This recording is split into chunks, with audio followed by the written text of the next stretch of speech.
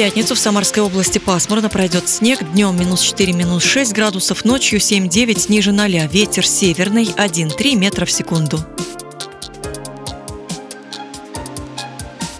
В Сызрани пасмурно с прояснениями. В светлое время суток минус 6, в темное минус 9 градусов. Северо-западный ветер 3 метра в секунду. В Тольятти тучи небольшой снег. Днем минус 6 градусов, ночью 8 ниже 0. Северный ветер 2 метра в секунду. Самаре пасмурно и снег, днем минус 5 градусов, ночью 9 с минусом, северный ветер 2 метра в секунду, атмосферное давление 752 миллиметра ртутного столба, влажность воздуха 85%, в геомагнитном поле небольшие возмущения. Прогноз погоды предоставлен погодным порталом gismeteo.ru.